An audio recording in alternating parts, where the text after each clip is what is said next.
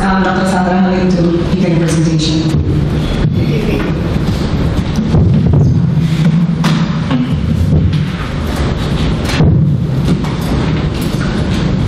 Assalamualaikum warahmatullahi wabarakatuh. Selamat pagi. Good morning, everyone.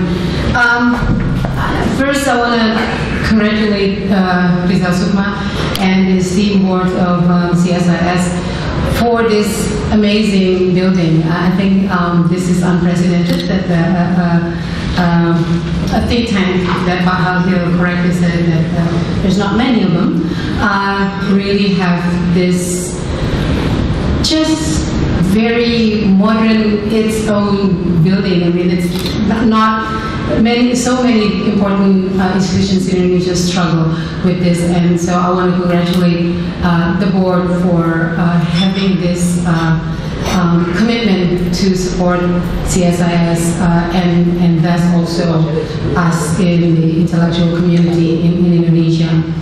Um, and as a student, I used to come here. I think, you know, I spoke with some uh, people outside also, and we shared, we reminisced about how we used to go here. Uh, I used to come here every single day because UI didn't have enough working space for me as a, as a student writing my skripsi at the time.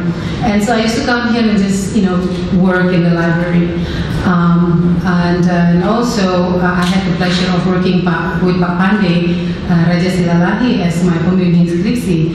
Uh, and so CSIS has always been a very, very special place um, for me. And also, Pak Hadi was one of the lecturers in, in the university uh, at that time, and all of the students wide-eyed, um, you know, in awe to this handsome young man and very clever lecturer, uh, which we didn't really have a lot of the time. So I'm just very, very pleased and very, very uh, honored to, to be here uh, speaking in the Soesastro Policy Forum and the Indonesia Update.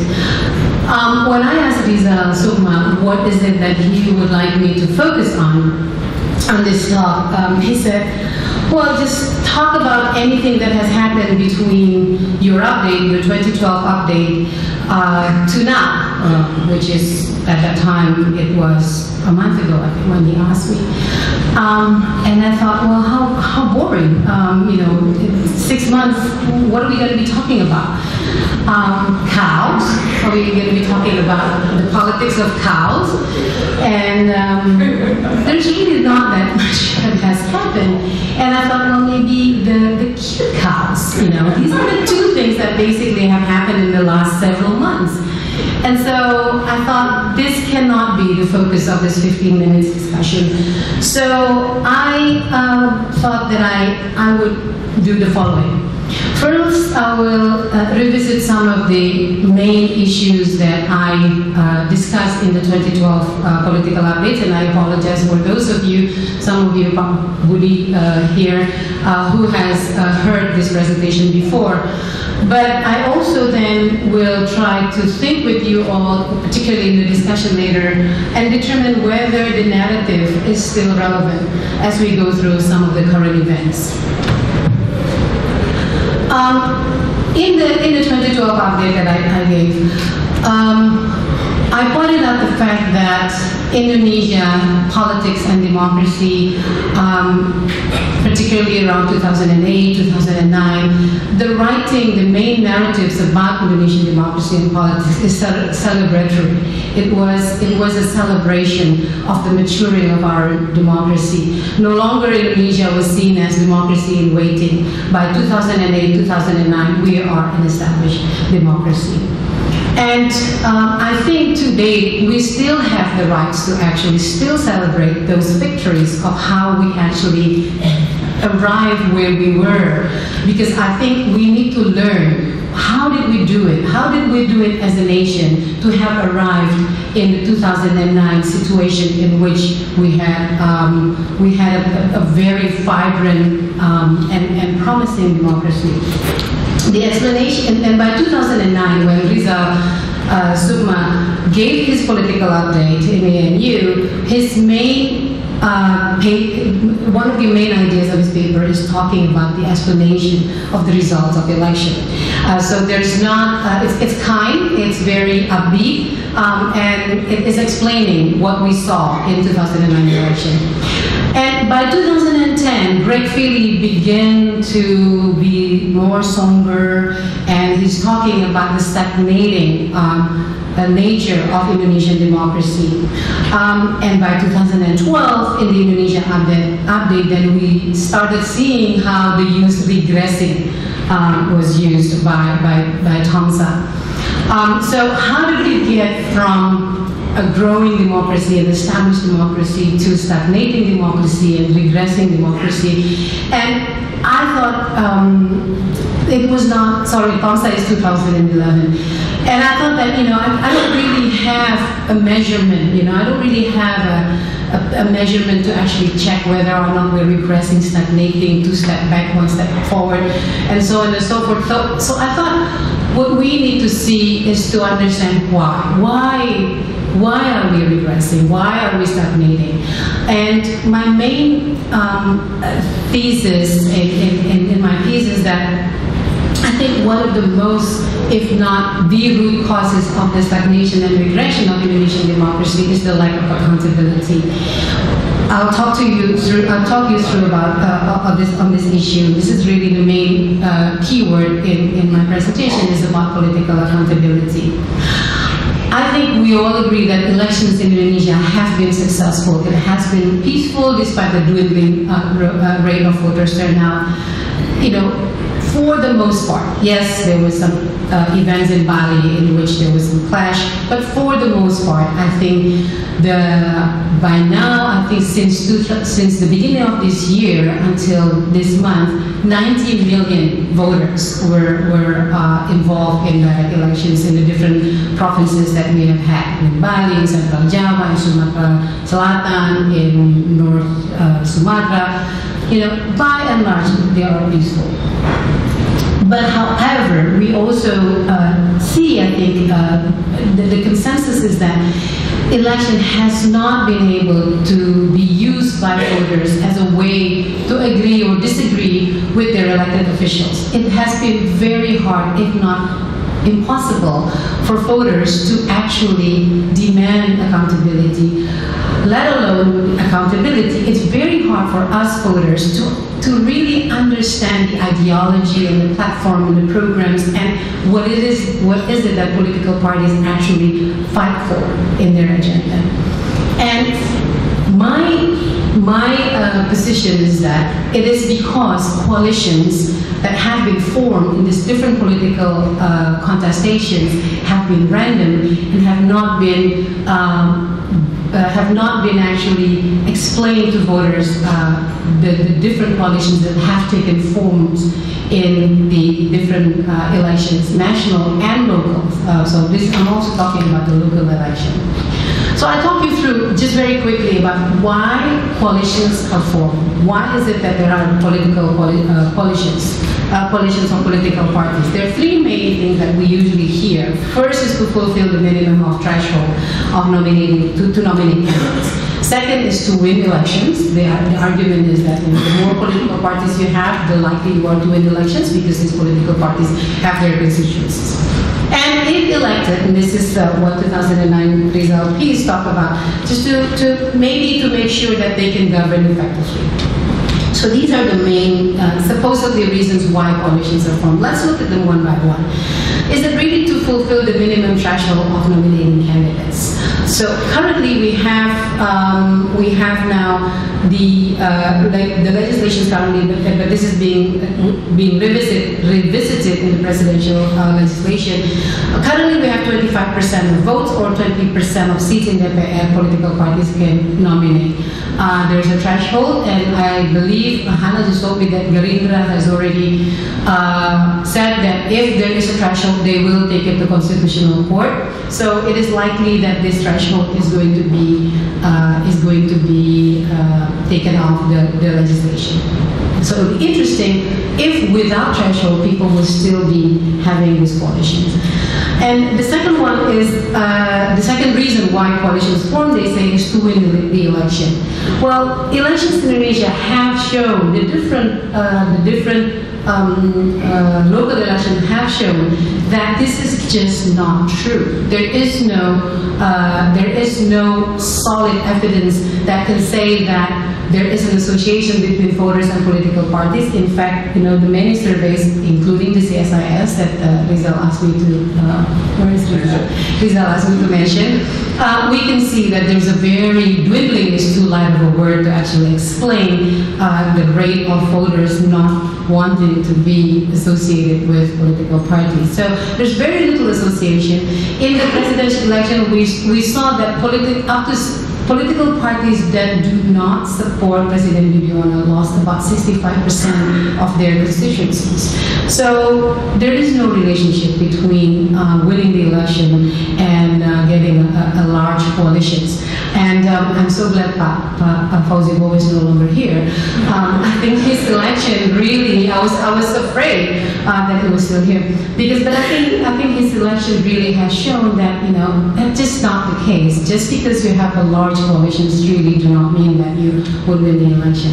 And then number three is there's this thinking that if you win, um, if you if you're elected, then then, then it'll make sure that you can govern effectively. Well, you know, in in, in 2009, uh, Rizal said Yudhoyono coalition is a way to provide stability and support in the parliament, and I think you know rightfully so. That was just right after the election. And then we started to see the problems, as I mentioned earlier. Tom pointed out the problem, Bank Century and all that kind of stuff. And then by 2011, President Yudhoyono, uh, you know, insisted on having a platform, an agreement with political parties, which what it says is that it means that he cannot actually really control the coalitions that he had. That that means that he can't really govern effectively simply because he, he has this coalition. And I think by 2012, we can ask ourselves whether or not this agreement that the 2011, every day in the newspaper, we heard about this agreement the, uh, for, for the coalitions, uh, is it really being upheld? And I don't think so. I mean, we can, today in the newspaper, PKS insisting again to get out of the coalition. It's the same story for how many years already. So it really does not help the government to govern effectively.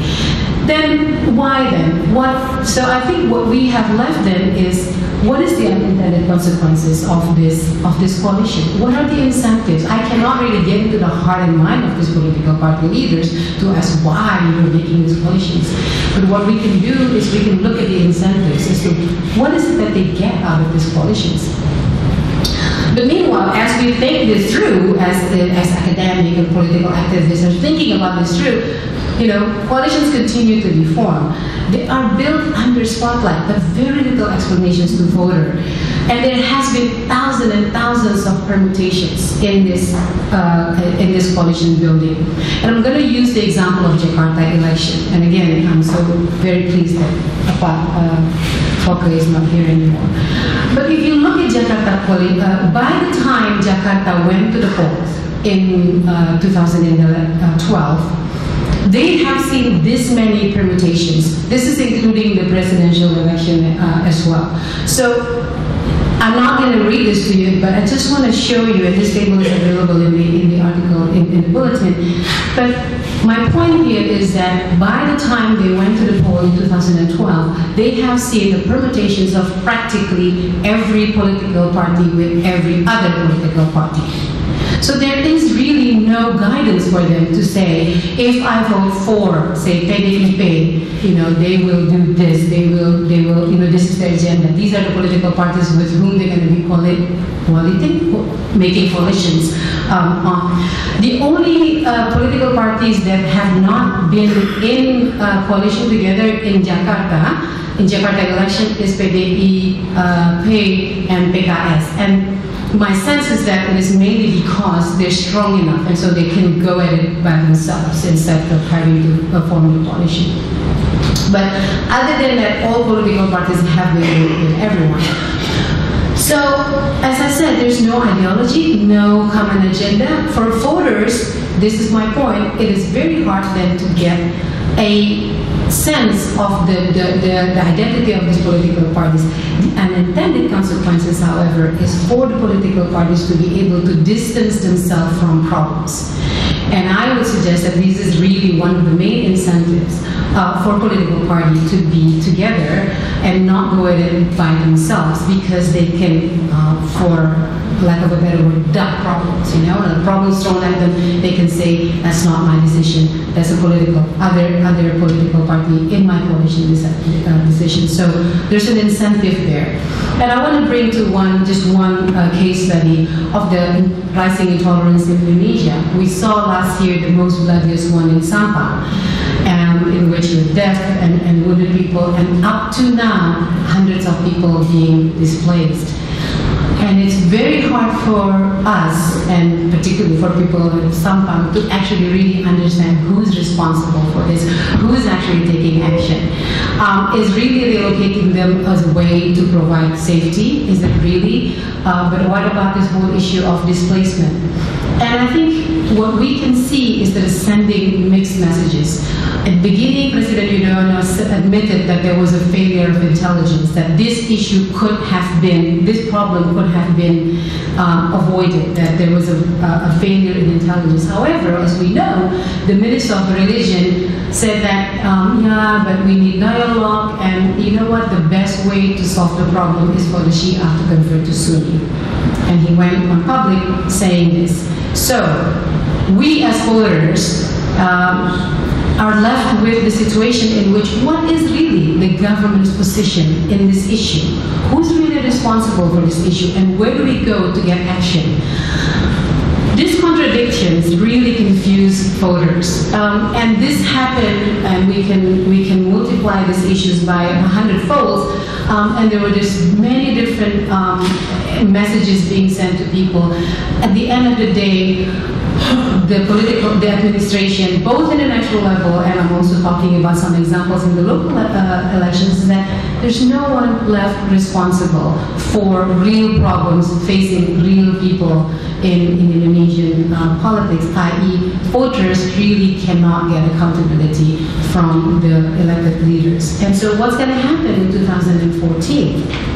Um, I think we will see still random coalitions. The signals that we have read in the newspaper, uh, several times we have seen, oh, uh, tunggu aja nanti hasil, you know, just wait for the legislative election result, whether or not we can uh, nominate our uh, own jagoan, you know, our, we can jockey our own candidate. Uh, and if not, we'll look, we'll look into, yeah, maybe other political parties, well, yeah, we'll, we'll make coalitions. It's so likely said. And we are never really under being, you know, given explanations. We are brought together because what, you know? And, and so I think it is too, coalitions are made without strong reasons that are for voters, it's easy for them to digest and easy for them to understand why those coalitions are made.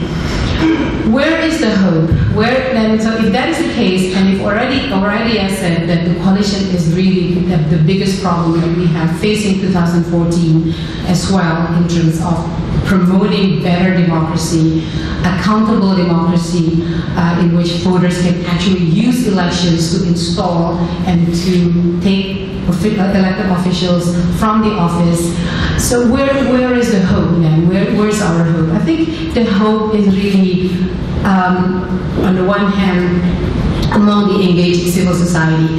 Uh, going to 2014, I think, you know, we we, as in all of us, um, as well as the uh, leaders of civil societies outside, and really have to think about understanding, unpacking these coalitions, because I think that's one of the ways in which we can understand the dynamic, the incentive, we can understand whether, and, and also later on able to hold these uh, accountable. And the other hope, and I know this is a little bit weird to be thinking about this, but I think maybe the hope is in the political parties. And there's a big maybe there. Try to get a bigger fund than that, but um, I think that's big enough.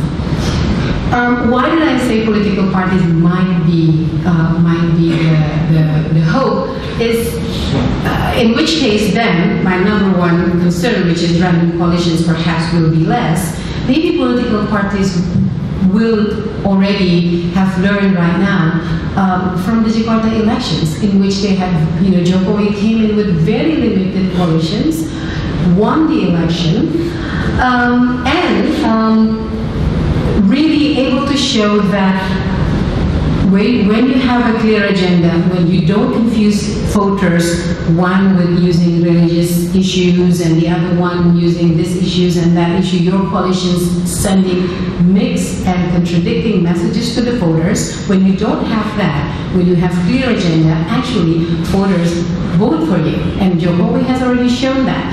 And I think if political party were to learn about that, then I think there's hope for Indonesian voters to um, understand, to cast the ballots in a more in a more meaningful way. They will be able to attribute success or failures. You know, come the next election in Jakarta, we know, we can tell whether or not we will install Jokowi again or we will take him out of office because you know, it is Jokowi's administration. Yes, it is with Gerindra as well, but you know, it's PDIP and Gerindra. It's very limited coalition. I think we can then attribute success and failures to these two political parties in Jakarta. And so when I'm talking about Jokowi, it is not necessarily about Jokowi, the 2014 would-be candidate, um, but it really is about the phenomenon of Jokowi that perhaps would allow 2014 a different kind of politics, a different kind of um, uh, electoral politics uh, that, that Indonesia can have. And with that, I think I, I stop by, by, saying that we're all, I think, looking forward to 2014 election and, and, and for what result it, result it may be, I, I, think, I invite you to see the CSI survey. Thank you. Thank you.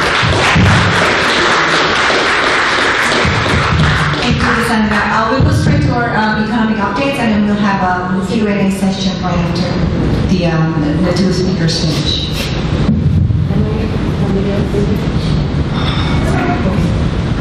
Uh, thank you, moderator, for the briefing. Um,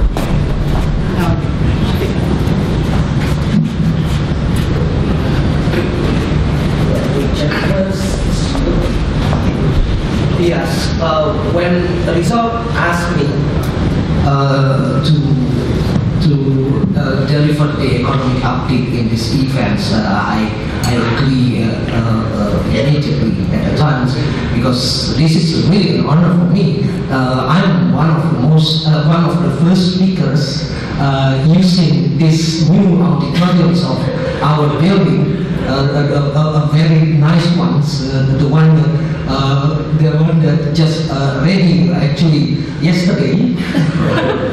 so, so, I'm, so I, I, I, I was very delighted uh, uh, to the request.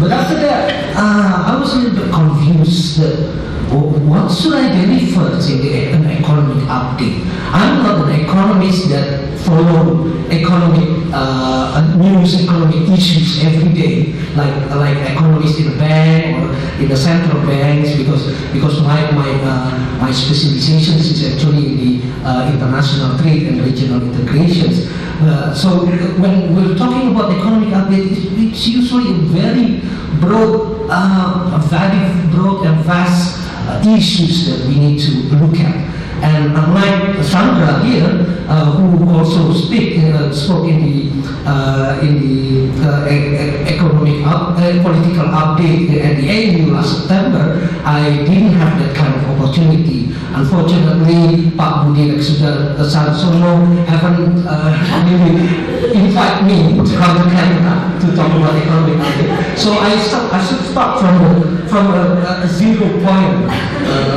with nothing to have. But anyway, let, let me start to look at the uh, at least what I already gathered so far uh, and share my view on uh, some issues of economic uh, uh, aspects of, of uh, today. this let me start with the some good news perhaps uh, some good aspects that we can see uh, uh, in the in the economic areas at the moment. First, we now at the global level, so uh, at least some of the uh, economists who follow these uh, these issues um, believe that there, there are now three speed recovery they, uh, they, call it three states recovery because because uh, now we know not only talking about strong and emerging markets and developing economies, uh, but now we also have some growth in the U.S. Uh, economy. Although uh, uh, in the euro area we still see negative and very uh, weak growth. Uh, perhaps I should also um, add a little bit about about Japan here. So it's not it's not it- it's not a three-speed recovery, but perhaps a three and a half because we still don't know what uh, Japan will, uh, go, uh, the, the development of Japan will go. Um, so this is basically what happens in the, uh, uh, in the global uh, area. I, I, I'm not going to talk uh, in details about that. You, can you can go to the IMF website or to the ADB website to look at uh, more details about what happens already in the, uh, in the global economy. Um, in the uh, Asia Pacific, it's, uh, it remains to be the engine of uh, global growth. Uh, the Asia Pacific, for example, last year uh, contributed around 40% of global growth.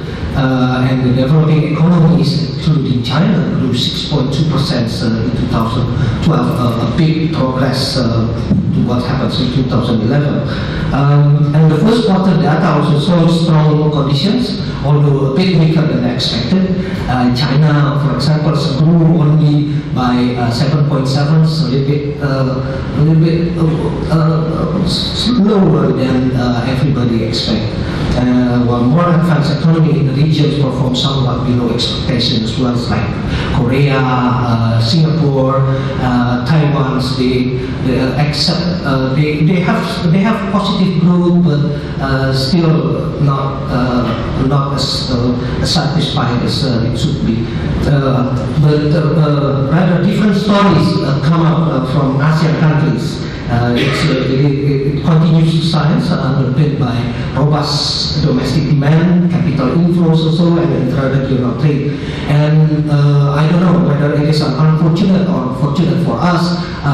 Looks like Indonesia is no longer the winner, the, pioneers among ASEAN countries, uh, because Philippines now has, has become a new rising star with uh, 6.8% growth in the first quarters and then uh, uh, also become a new darlings in the, uh, in the financial markets. Although we still need to see whether it, uh, it is a, a, a, a sustainable development or not. So let's see uh, Indonesia uh, so situations. Also, we still have a lot of good news in Indonesia. Uh, at least we, at least we have, uh, we still have uh, uh, a growth remain very strong remain very strong.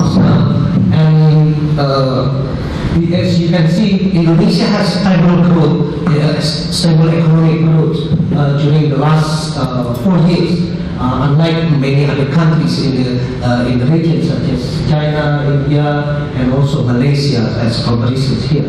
So we still expect Indonesia also to uh, to uh, have a positive growth uh, this year. And inflation is also still within the eye targets, although uh, lately little bit soaring, uh, but still it, it's, it's under control. Um, the investments also grew quite strongly. Uh, the, the, although the uh, foreign direct investments uh, a little bit uh, slowing down uh, for the first, uh, the, the last quarters of last year and the first quarters of this year. But we still uh, can see that these investments can can be one of the source of growth. So so enough for the uh, big news, uh, uh, for the good news. Uh, I think we need to be uh, to get to uh, more realities and then uh, talk a little bit more about the challenges, the challenges that perhaps would uh, come up uh, in this years and also next years in the election years of of Indonesia, big election years and what the, the time where everybody's already expected since four years ago.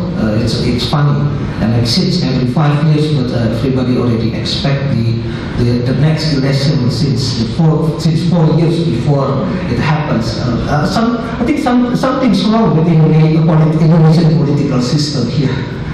Um, anyway, let's see the challenges. And then I try to make it uh, less uh, boring.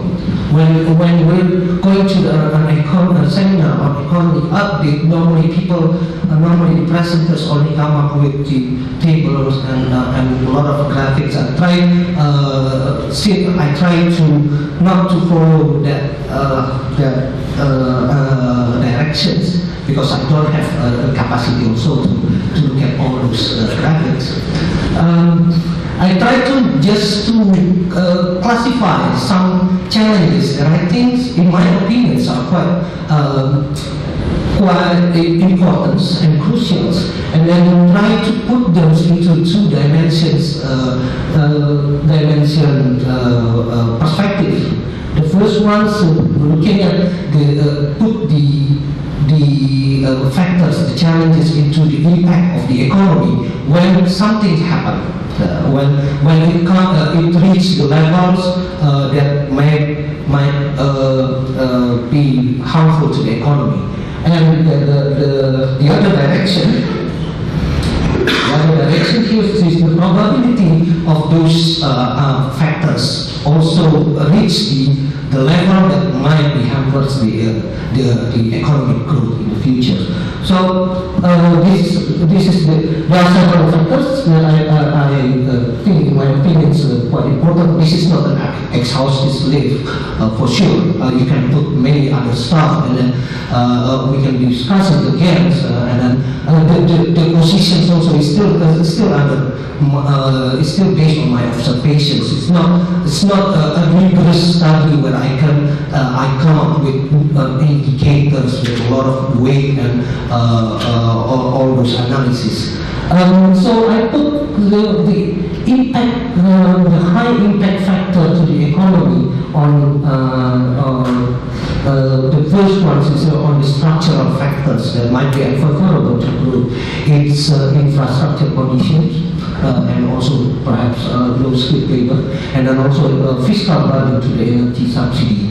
Uh, or, but, uh, but fortunately for us, the probability of those factors perhaps to, to hamper the, the economic growth is uh, quite low. Uh, uh, still uh, can be uh, can be bearable by the economy.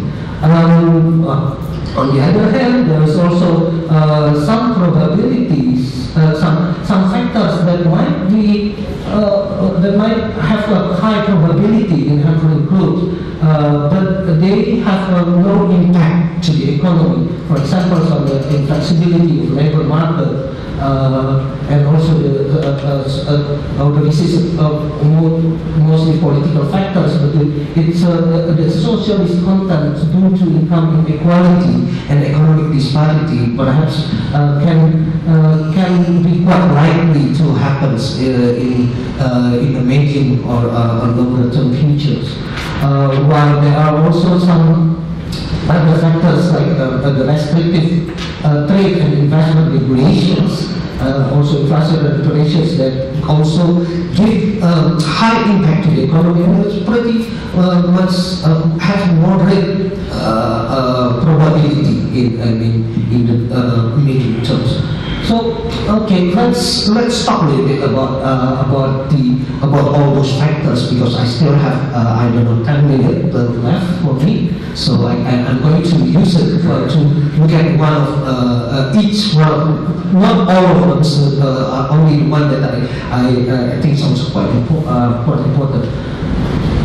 Um, first, on the structure of factors, the infrastructure conditions, I, I it here from the uh, World Bank publications. Uh, we all know that Indonesia still have problems with the lack of infrastructures. We've been discussing it for years. Uh, the Uh, the- I, I don't know how, uh, now, uh, uh, uh, last uh, uh, what is the number of infrastructure summit? Maybe already the eight or the seven, but still, we're still talking about the lack of infrastructures.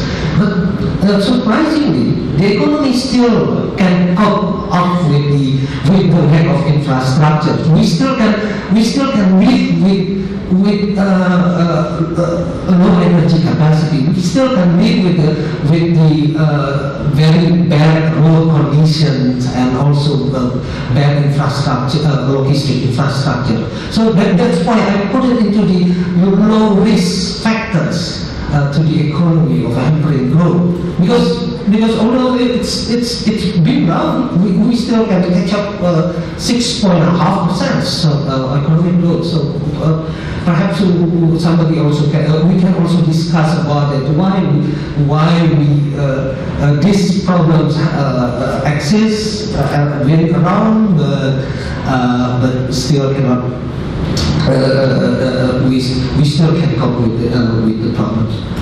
Okay, and then also the labor characteristics, uh, the one that I mentioned before, we still have uh, a very low uh, labor, uh, lab, uh, uh, low skilled labor, low skilled intensive labor, both in manufacturing, in services, and in, in, in, the other economic sectors as well. Um, the second the second factors that I'd like to highlight here is on the uh, fiscal burdens to the energy subsidy. Uh, as you know, energy subsidy has been discussed also for quite some times. Uh, uh, uh, Professor Harkin mentioned this morning that one of the most influential book from uh, Hadi uh, was written in 1980s or 1970s, uh, and it's about energy. But then uh, he talked also about energy subsidies, so it's 20, 30 years ago. And uh, we still have uh, this energy subsidy, uh, and even occupied the big part of our budget. As you can see, the, the amounts will be becoming uh, extremely large in 2012 although they only put 137 uh, trillion dollar for the uh, fuel subsidy. In realization, it's uh, on, uh, 35 uh, sorry, it's 75 75 percent higher. Uh, reached 211 for uh, for the fuel subsidy alone. This year, um, the, the, the, uh, the, budget, the, the yeah, the budget for uh, 2013 is uh, uh, proposed to have less than 200 trillion dollars as fuel subsidy, but uh, the estimate, this come from the estimations uh, from the Ministry of Finance, the, the Minister of Finance uh, mentioned that it can reach uh, up to 300 trillion dollars. It's uh, more than a, a quarter of the budget, the government budget. So it's it's it's very big and, uh, and, and it becomes a, a heavy burden to the fiscal uh, to our fiscal policy because because now we no longer have the fiscal uh, policy space uh, using the fiscal. What happens if if the, uh, the uh, uh, uh, economic global economy is not recovered? Then we are going to have more external So we no longer have a policy space, of a fiscal policy space to, uh, to use fiscal policy. Um, last year, CSIS uh, did uh, uh, a small study on the uh, on this uh, subsidy, on this energy subsidy, uh, uh, to, to contribute to the debate uh, over the uh, energy subsidy, and then we found we come up with three scenarios. Uh, well, well, the, my uh, our uh, proposal is to have scenario three to increase the price to six thousands and then gradually increase the price of fuel by 10% per year. So then the subsidy will be eliminated in 2020. Uh, we, uh, we try to uh, we try to incorporate the, the increase in demand, the increase in consumptions also try to predict the, the oil, oil price fluctuations and then we come up with the, this, uh, the third scenario. This is actually the most feasible one because um, if we uh, stay with the current price, then uh, the subsidy will reach at least 550 trillions, uh, or, or almost uh, more than the doubles of the current budget uh, proposals for the for fuel subsidy in 2020. Um, and uh, and and um, if the government should be not should not hesitate to increase the price because now uh, I, um, in my opinion, public already uh, uh, already understands, already accept this reality. The latest uh, CSIS national survey, the one that uh, uh, we, we mentioned, have been mentioned uh, quite often this morning, uh, also include some questions on the subsidy on the energy subsidy. And we found out uh, uh, one question is uh, uh, uh, uh, try to capture the, the perspective of, of, of the people's perspective on this uh, price increase, fuel price increase, and, and it reveals that 62% of the populations, at least the one that we have been surveyed, doesn't mind to have a price increase as long as enough supply to the uh, uh, of, of fuel, enough supply of fuel available, uh, especially in the regional, uh, in other regions of the countries. But uh, we uh, we also found out that only 10% of populations actually aware of the problems with the budget. So the government still needs a lot of uh, uh, explanations information disseminations on on what the, uh, what is at stake at the moment with the uh, uh, with the uh, high energy subsidy. Okay, um, let's move to another uh, factors, another as- aspect. Uh, the, the other aspect that I'd like to highlight here is the, the rising of uh, increasing economic nationalism. Uh, it's more or less uh, related to the political situations, in my opinion, because uh, uh, as you can see, uh, there are many protective and inward-looking uh, trade policies, and also more restrictive investment policies uh, that you can find in many um, uh, many regulatory uh, uh, regulatory instruments in Indonesia. It might be temporary due to political noise, political factors, because because uh, everybody wants to win the heart of people. So one of the easiest way uh, to win the heart of the population is to come up with more populist and nationalistic uh, regulations.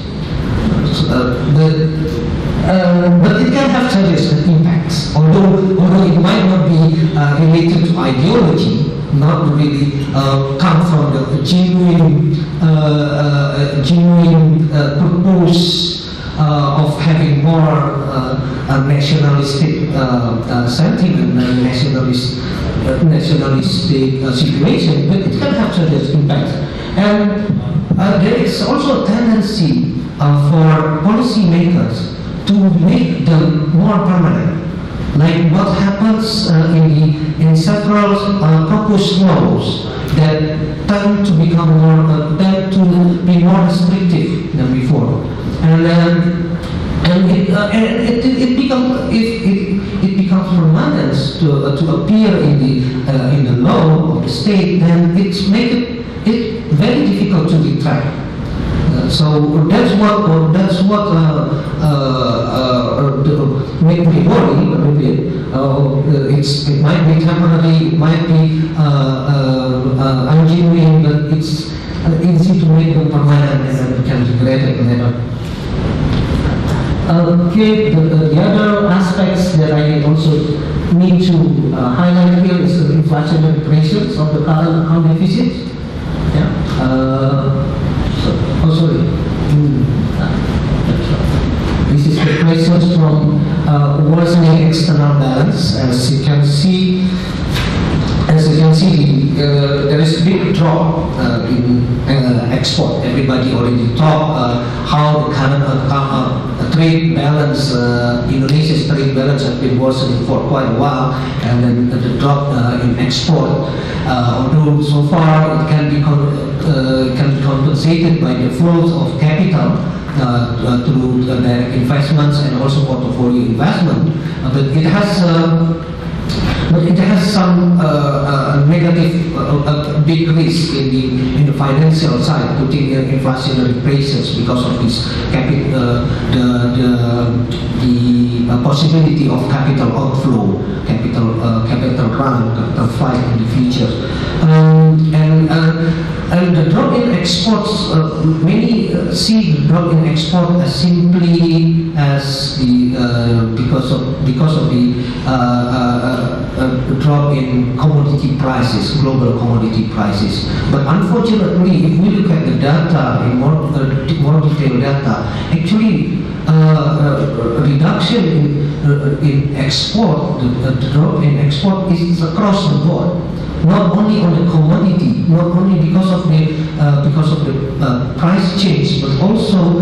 because of other uh, other factors that we need to uh, uh, uh, pay more attention. It includes competitiveness of Indonesia and also the demands of the the weaker demands of the destina- destinations of export. Um, yeah.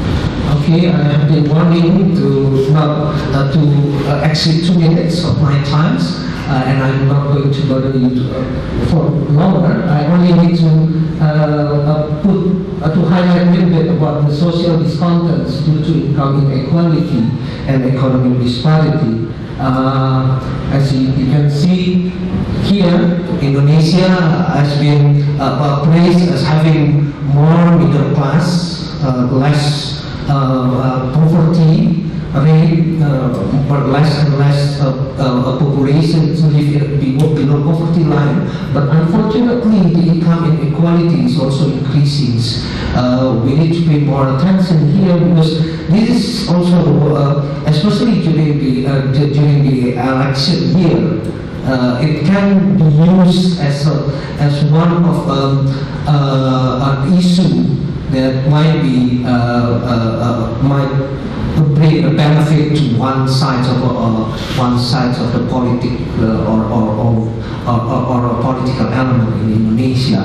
Um, the income inequality is increasing, uh, and then the, the, the, the labor market inflexibility is the one, the regulation of, of labor market also makes the situation, in my opinions, uh, a little bit worse because uh, it, it, uh, it also hampered the developments of uh, the sectors, the, un, the unskilled labor intensive sectors that we still need uh, to give a job, to give employment to mo- uh, most of the population. So uh, before closing my uh, my update here, my update, uh, I just want to uh, give a key message uh, that, that perhaps uh, try to summarize all of these things. We we don't want to have all those highlighted factors to become the high impact, high risk factors. And uh, I think the government of Indonesia still have a, uh, a chance, still have authority and power uh, to act uh, more, uh, to act and more decisively take uh, uh, of this possibility. But it has to be based on market principles. Uh, it has also uh, to be based on the principles of uh, increasing private uh, sector participations. Um, the politically motivated decision might be tempting uh, for the government and also for, for, uh, the parliament. But keep, please keep it within economic rationals, even if you want to put more political motivations in, in, in the decision. And, and if that's not also possible, please don't make them permanent. Just um, make them uh, as, a, as a sweetener for your political uh, uh, political motivation. Thank you very much. Um, it's been interesting. Um, a lot of um, issues were covered, but I think one um, important factor is that we see how interconnected um, political issues and economic issues are in Indonesia. Um, we have uh, plenty of time for discussions. Uh, I'll open the first round of questions from the audience. Yes, ma'am. I think you can use the mic. Yes. I'm not gonna pose question to my boss. So I'm just to um, excuse my sort of limited knowledge on the economy, but then I'm really intrigued with your uh, take, uh, sort of scheme and put uh, high corruption in the middle. I mean, it's it means like a minimum impact to economy and a medium impact to hampering the growth.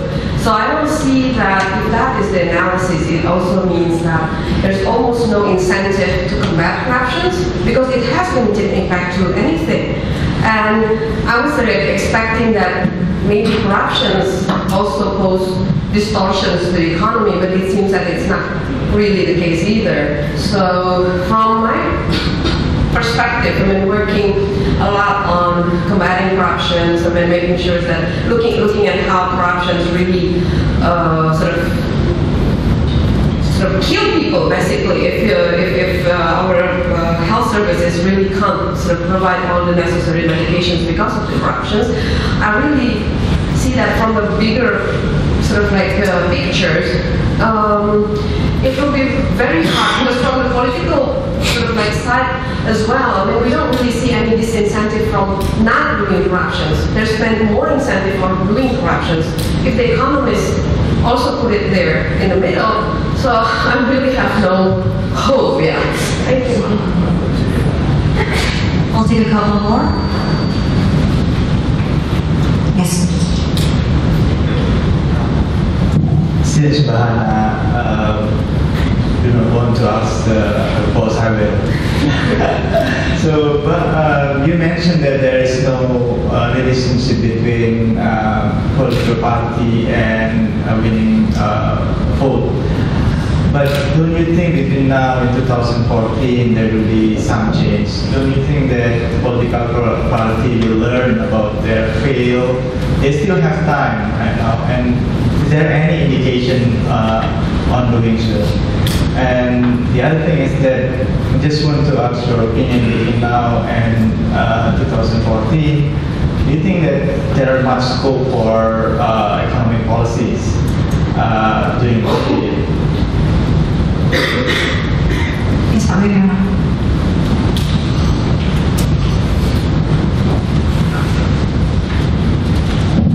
Thank you. Uh, I'm glad that uh, you mentioned about social discontent and also inequality. I think it is uh, resulting from the fact that our economy is going on a two-speed economy. The upper class is going faster, the lower one is slow, and the gap between the two is widening. So I think inequality is the biggest danger.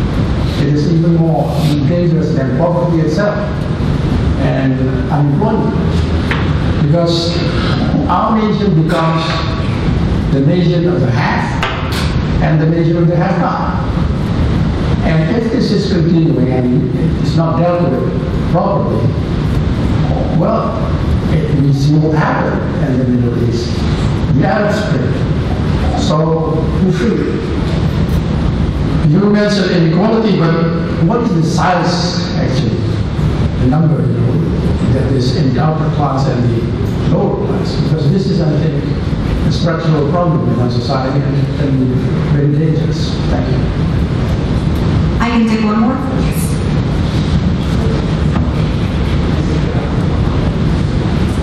Thank you. My question to Pak Rizal. Um, you mentioned about the uh, restrictive trade and investment uh, regulation is becoming more nationalistic. Uh, my question is whether this uh, this trend is rational or irrational. Uh, I mean, as a as an, uh, as an uh, Indonesian uh, corporation or Indonesian economy, they understand that when you have declining uh, external demand, um, this become tougher for them to compete with the other countries. In addition, it is a lot of to be said about the low level of competition strength of the uh, Indonesian product or Indonesian services to be uh, competed abroad. So uh, this this one factor. Another factor is that many people now say that uh, the market is in Asia and the market especially also in Indonesia. So it is rational to look into the domestic market to be uh, successful. And I understand that from the conceptual perspective, it is, it is good to have uh, open and uh, trade and investment regime, investment regulation. But under current situation, whether this trend in Indonesia or maybe in other Asian countries can be said to be rational or irrational. Thank you. Okay, thank you. Uh, we have four questions already. Um, Sandra, would you like to start? Um, Ms. Budi, uh, can political parties learn? Is there still time in which we can um, have that candle of light um, so that the flame won't go out at all? Um, I think that flame is flickering. Um, I think there's still hope, but you know, what is the basis for, for that hope? I think if we see what has happened um, in the local elections, um, uh, you know, you still see this very um, random um, mix matching of different political parties. So I don't think that's going to change um, for now, which, as I said, you know, has consequences over the voters not being able to uh, hold their political uh, officials accountable. Um, however, you know, we do have, according to the survey, right, I mean, 28% of people undecided, right? So if you were running a political party, one would think that you would be trying to get that 28%, it's pretty high yeah, of, of people undecided. And I think the CSIS survey has shown that um, whether or not it was seven candidates, whether or not it was 28, uh, four candidates, and you know, head to head. There's an echo here. Oh, Hannah knows. And so I think you know when when you uh, when you have that, it's still around 27, 28 people undecided. And so um, definitely there are there are people out there that is just waiting for political parties to get their act uh, together and, and really come forward as as a party with, with agenda and with um, with uh, that have yet to make these undecided voters people who have not been actually uh, voting in the last couple of years in the local elections as well. And, then, and remember, the voters are turnout really also dwindling, right? And so, um, uh, and it's not just about, and I disagree with people who are talking about this in, in, and frame it in, in, in apathy. I think Indonesians are engaged in political discourse. They just don't have the choice. The, what's being offered to them were not something that they would feel inspired to actually vote for. So just because you have a low voter turnout, I don't think it is about apathy, or at least not not just about apathy. Now. Um, so you have you have people who are undecided, and you would think that political parties would actually try to do this. However, if you look at the public, you know, discourse that, that have that are available out there that you can actually check for yourself, I have yet to see political parties to actually, you know, give us reason to believe that yes, they are actually going to be that the political parties that are going to be pushing for, you know, allowing accountability where they, if they are selected. Elected. Uh, in, that's in the public discourse. Hannah and I work also with several political parties, particularly those who are, you know, in, in, on the issue of women political participations. But we, because of our work, also hear uh, a lot of the insights from these political parties, and we can see. I mean, the recruitment is really public. We know this, right? The political parties recruitment is what is it, ad hoc, um, um, and just don't, they don't have the strategy of really real good political parties recruitment. And so, you know, if you look at then the DPR uh, or political parties playing representational role as well as legislating role, you see that I think for the last several years we've seen not very good uh, performance from, from, from their part. And so will they learn? And as I said in my presentation, you know, if they see what has happened in, in, Jokowi, also I think in Central Java, and you know, to some extent also Bandung, even though that then Enrique lost, but they went with like slim coalition. They, there is hope for people with slimmer coalitions and actually to, to actually go get out and get, get votes out here. And so I think the hope would be from them learning from whatever is actually going on and, then maybe maybe we will be able to get real choices uh, coming uh, 2014. And about the economic policy, is there hope for for you know better economic policy, or even like the, the, the, economic policy being part of the debate? Um, I, I'm afraid that, you know, if Yose's number just now, what is it, 10%, only 10% of uh, people understand that all uh, the gas subsidy has to do with budget. Given the, how many years this has been, you know, debated, um, it is unacceptable that, the, the, that, that we cannot, you know, that people cannot be made understand about, about this issue. When you have, as, as, an, as an administration, the government has all of the resources to do the sosialisasi or whatnot to make people understand of this rational uh, choice that the government has to make. Only 10% after all these years. I think that's just shows that you know, making, uh, explaining to people about important economic issues are not going to be the main forte or the main narratives in the Indonesian elections. I have been in 2009, you know, in a situation, in a, in a not in a, in a campaign, uh, listening to campaign speeches, and this is not the campaign out there, you know, in the field where people have done good and all that. This is a real discussion campaign, and uh, and uh, um, nominee, uh, the, the, the candidate was asked about economic issues, and he said, economic issue, we have to grow. We cannot just grow single digit. We have to grow double digit. Uh, if I become president, I will have 15% up to 17% growth.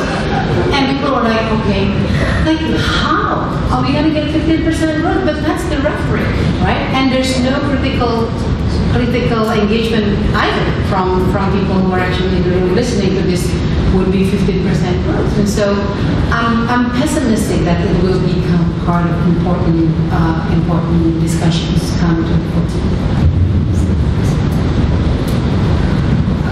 Okay, there are three questions uh, uh, or comment to me.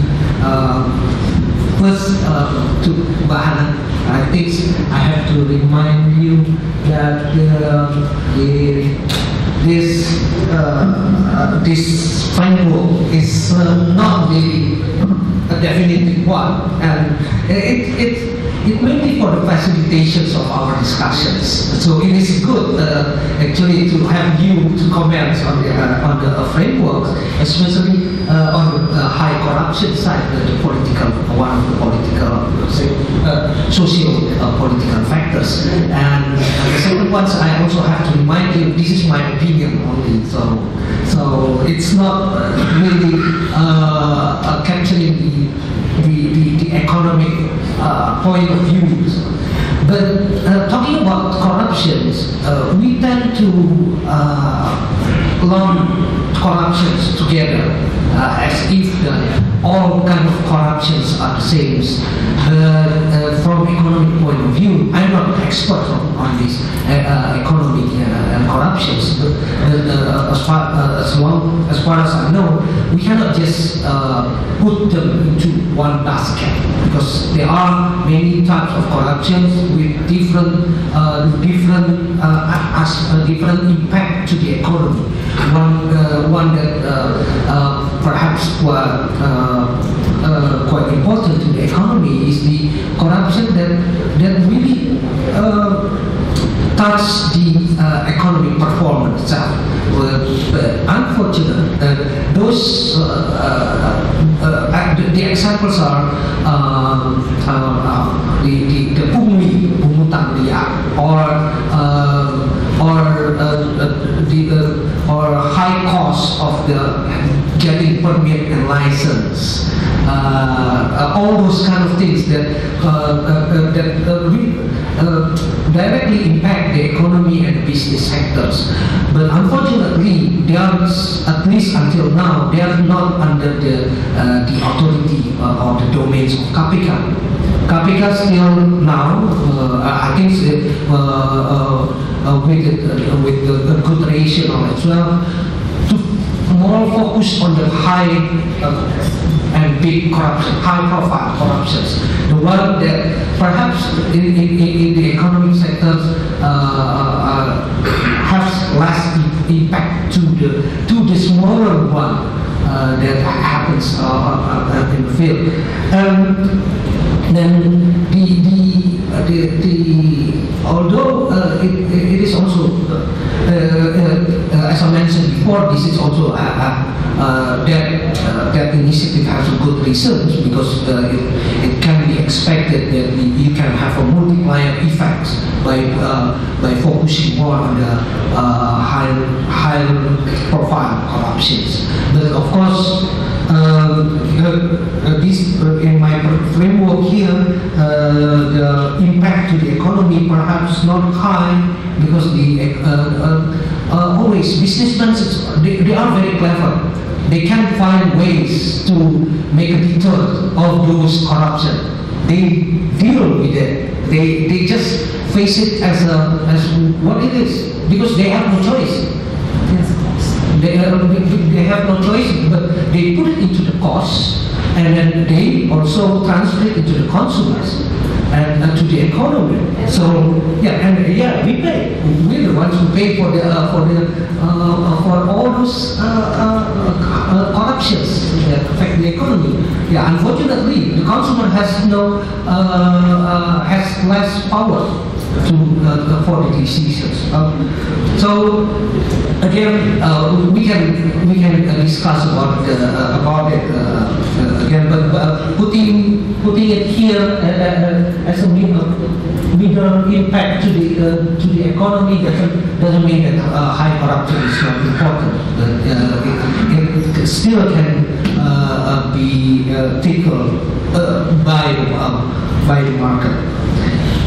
Pak Wiryono about uh, equality and dualisms, I cannot agree more about that. Um, yes, we do have uh, uh, economic dualisms in Indonesia, whilst uh, on certain part. But uh, maybe maybe this is this is the big uh, big problems of uh, sorry. It, this is a common problems of big economies, if I may say. Uh, like it also happens not only in Indonesia, but also in China, for examples, or in Brazil. They all have uh, uh, this two-tier economy. While the first tier is the uh, formal one that, uh, that can uh, easily get um, get the uh, transfer the technology, use the new technology, and then become more and more competitive. While the, the, the informal one uh, uh, stuck uh, in the uh, in the bottoms of, of the economy. Um, uh, uh, the, uh, this is a common problem to, to uh, to to big economies, big developing economies, in my opinions. Uh, that's why while many people talk a bit talk about middle income trap, I think we also should introduce to Indonesia, to China, or uh, to uh, uh, uh, Brazil uh, problem, the big, big economies problem, big economies threat, while the transformation, the structural transformation somehow did stuck in the middle the, the, the, the, upper, uh, the, the first tier managed to go higher while the, the second tier remains uh, uh, at the low level.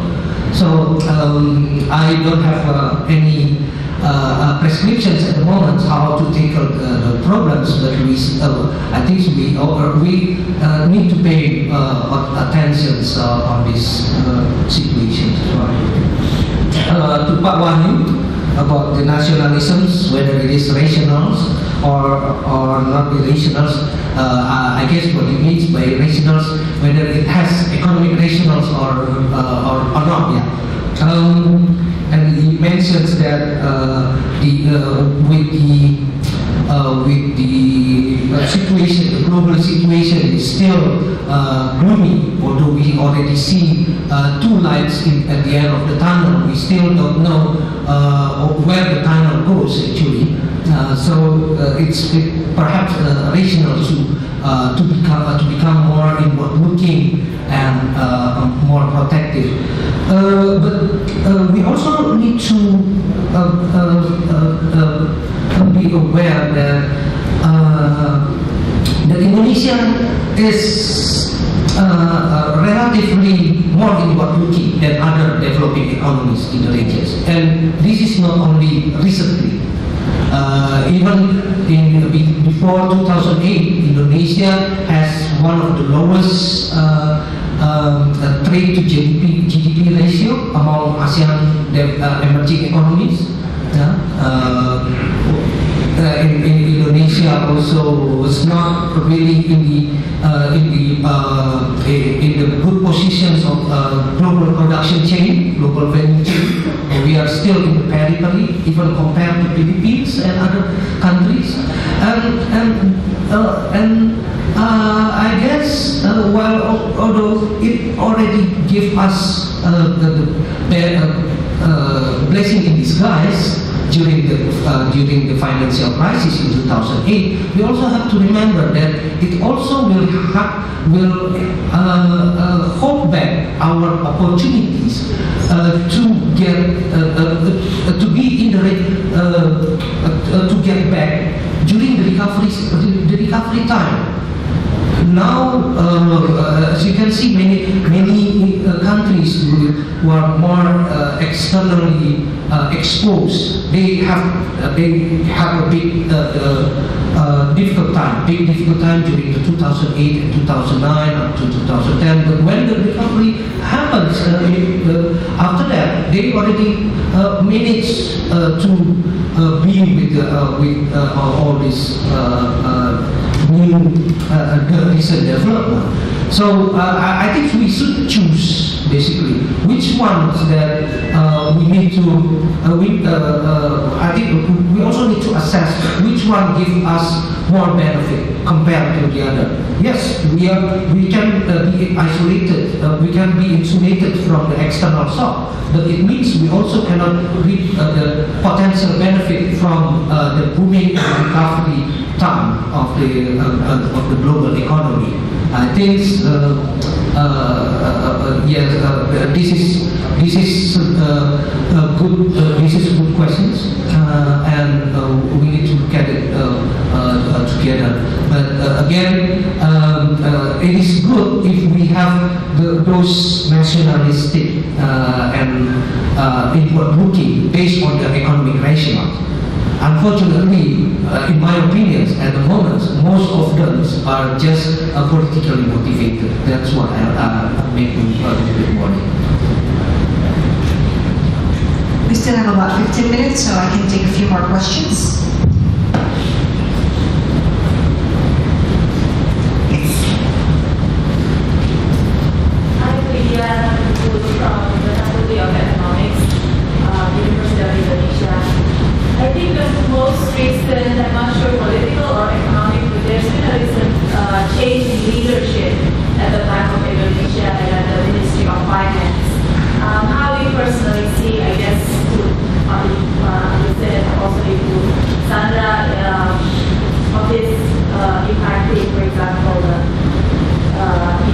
both short-term political and um, social development. I can take a few more.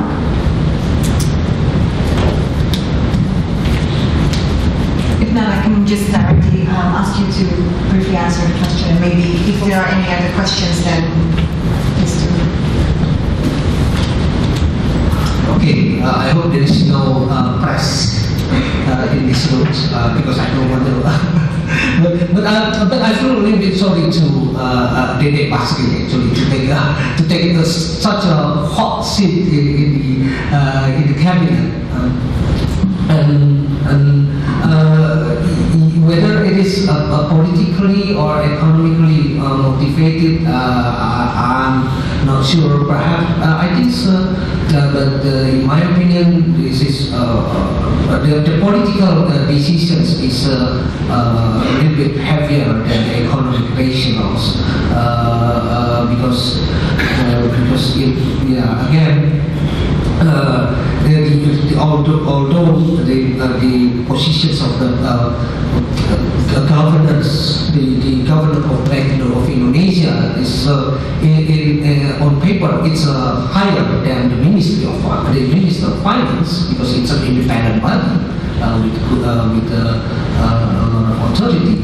But uh, in reality, uh, it might be uh, less uh, authoritative than uh, than the Ministry of Finance. So for Pak Agus, I don't know. Perhaps this is this is what uh, they call uh, a demotion by promotion. Yeah. So. So they, they, promote Pak Agus as a, uh, as a governor bank of, of Bank Indonesia, but maybe with uh, a new uh, new agenda uh, uh, behind. And, and again, uh, to the Dede Basri, uh, this is very a difficult time for him. That's that's my my view on this. Um, are there any other questions? Yes, Pak, we don't would you like another one?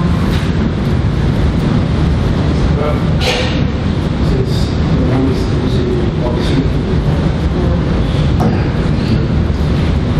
Since no one is using the opportunity, to ask Sandra a question. This is a question from an man to the younger generation.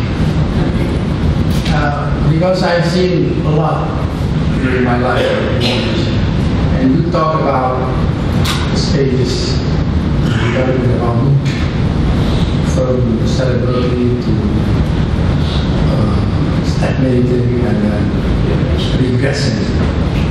So will we continue to regress? Because and we see the corruption problem in our country. What we see is that it's so pervasive. It's everywhere. It's the executive branch, legislative branch, judiciary, uh, Minister of Religious Affairs, which is supposed to be guard our spiritual life. What we have is a moral decay that is so deep. So, you know, are you as a younger person optimistic that things are getting better and going to get better?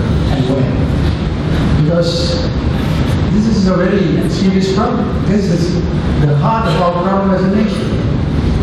Because what we have is, we talk about money politics. What is money politics? The way I see it, money politics is simple. It's the use of power to make money. And then to use money to perpetuate power. That's what we are doing. So this is very serious.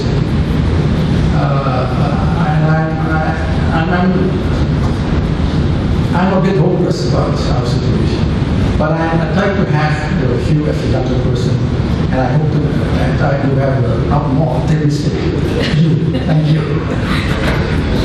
Um, if there are no other questions, I would like to ask Sandra to answer that one question and maybe also have some final remarks to, from both of you and Yose as well.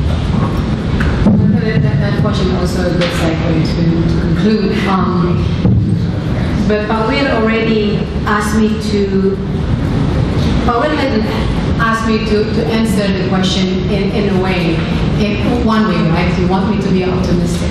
Um, And so, uh, I am. I mean, I, I think I think I am. Yeah. Um, we we're not. You know, when I when I give give gave you the analysis of those people, you know, from 2010, 2011, from stagnating to regressing, um, you know, while not long before that, you know, we were celebrating our democracy as you know as being established and not necessarily in waiting anymore and whatnot. Um, those are real development. And I think our task is, as I said in my presentation earlier, is to recognize how we got there and then find again those important elements that were that allowed us to actually um, steer the development, the Indonesian de- democracy, uh, to better, more accountable democracy. How did we get? How did we get there? How did we get uh, to have direct elections, for example, that we all have wanted, and then we managed to have them? What what was the the the playing? You know, what was the elements that played out at that time that allowed us to actually have that? And I think we need to recognize those things to actually push forward for for better uh, for the quality of our of our democracy. And I think you know one of the things that I said is it goes back to the Indonesian civil society. I truly believe that. Um, we, as civil societies, were the ones that were really engaged at the time, and I think civil society, you know, continue to be engaged. And I think the task is actually bigger for Indonesian civil society currently because the the failure, the flaws were everywhere, and it was open, and you could see with naked eyes. And so um, you have an organization like FITRA, for example, trying to push forward for better transparency in the budget, but at the same time, you know, other things are going on, and they try to go there as well and, and comment on that, try to fix the problems. So there's so many different issues that they have to deal with, but at the same time, I think they are our hope. They are the ones that should be supported, I guess, by us, the common people, to, to, to push forward these, the Indonesian democratic agenda. And I think, and I know it sounds flaky, you know, if I say this in, in, in you know, in this very important forum, I think all of us can do this, you know. We, I talked a little bit to Vivi about how I use the cow case all the time to talk about the relationship between corruption and our real real life you know what we what can or cannot be put on the table how many grams a baby you know can grow depends on the protein intake and how that really relates to real life and i think you know, if we just take the time to actually talk about this, you know, every time we go. I went to the supermarket and looked for lemons. And our lemons are tiny, but, the imported lemons are bigger. And, and I talked to the person in Hero Supermarket about, you know, why can't we get better produce? And I don't know, um, you know, I think it, it is dependent on all of us to continue talking about this, to make those things that Yose said about corruption, uh, which is abstract, to real issues. And I think we have to do it because the media is not doing it. Not, you know, some of the medias are doing it, but the, the, the, the, the bigger, the majority of the media cannot connect what is going on in the abstract political sphere to the reality of the people. And this makes connecting or asking for accountability that much more difficult. So not only the political parties are not doing it, the media also, as one of the very element important pillars in democracy, is not helping us either. So uh, with all of these things, why did I say I'm optimistic? Well, because that's the only way to be. Um, I can't, you know, we can't, we can't give up just yet. We have come a long way, as you said, but you know, this is this is a long, a long, a long haul, and I think, you know, with the with this with some of the achievements that we have had, um, I think we we can do it. Okay, uh, just short remark.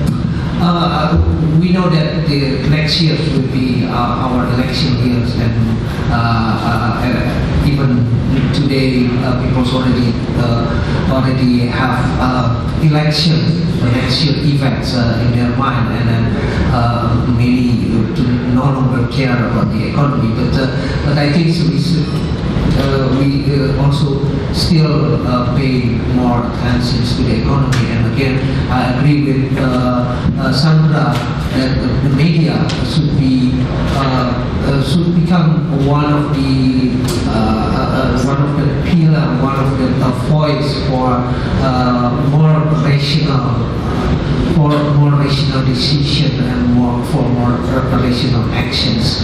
Uh, I, guess I, I should I should stop. Um, well, Sandra's an optimist. Uh, it seems Yose is one as well. So I think what we all need is uh, we can be optimistic and we can be pessimistic about you know the, the, this this whole um, ideas about um, the economic and uh, political conditions of Indonesia. But I think uh, we all want a better future for the country. Um, could you please join me for a round of applause for our two speakers?